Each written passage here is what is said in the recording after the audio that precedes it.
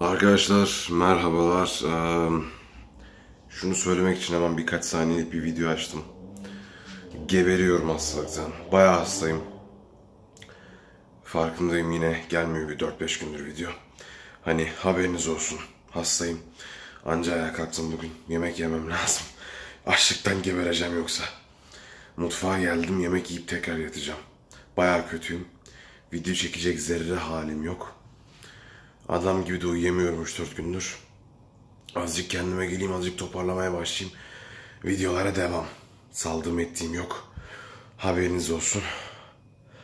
Kendinize iyi bakın.